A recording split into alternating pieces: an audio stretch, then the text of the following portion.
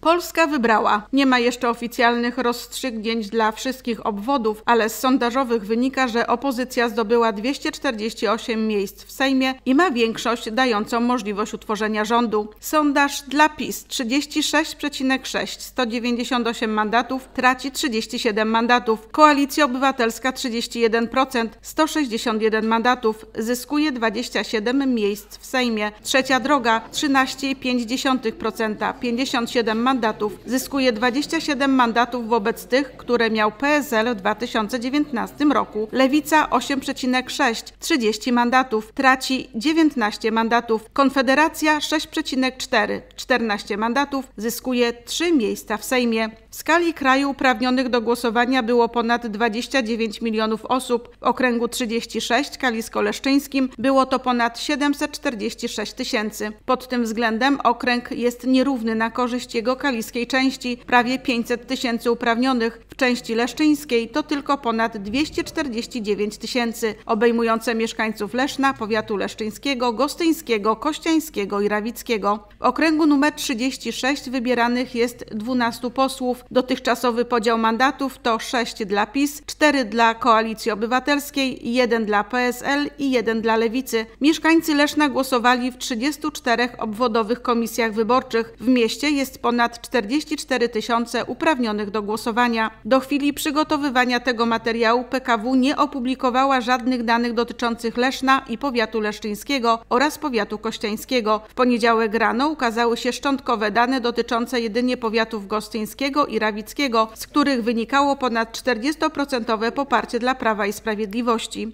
Podczas konferencji PKW w poniedziałek o godzinie 10 podano wyniki z 30% obwodowych komisji wyborczych w kraju. PiS 40,5%, Koalicja Obywatelska 26,38%, Trzecia Droga 14,12%, Nowa Lewica 8,03%, Konfederacja 7% 37 bezpartyjni samorządowcy 1% 87 Polska jest jedna 1,69, mniejszość niemiecka 33 setne. Aktualne dane będziemy podawać na naszym pasku informacyjnym i Facebooku Telewizji Leszno.